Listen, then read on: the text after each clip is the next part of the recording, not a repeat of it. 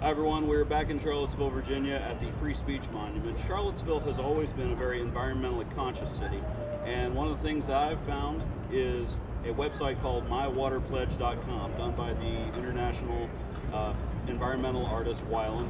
We're going to do something on here as a tribute to his work and also to mywaterpledge.com. The wall's not quite big enough for a life-size whale, but we'll get close.